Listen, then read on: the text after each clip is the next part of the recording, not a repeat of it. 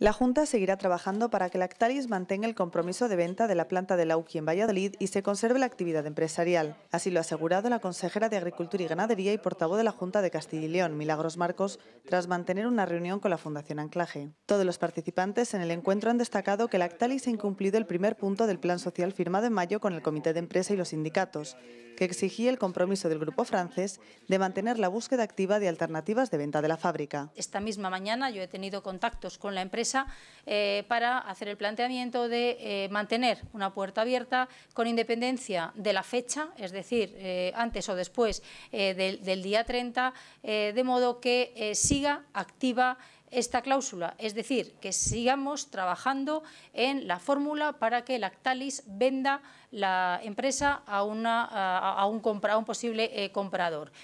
Esto eh, se va a traducir en una actuación inmediata, es decir, eh, una reunión que vamos a plantear a Lactalis ya en el, en el, ámbito en el que eh, se puede abordar, que es el ámbito de eh, quienes han firmado el propio, el propio plan social, para que eh,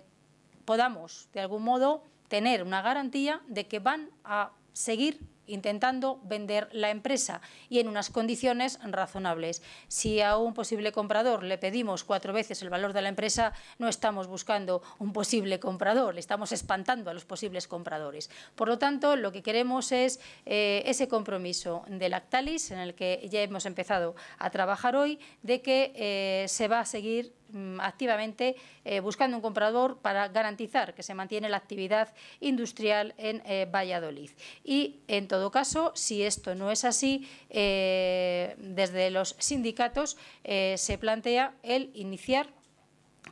actividades judiciales que obliguen a cumplir este compromiso de la primera cláusula, de modo que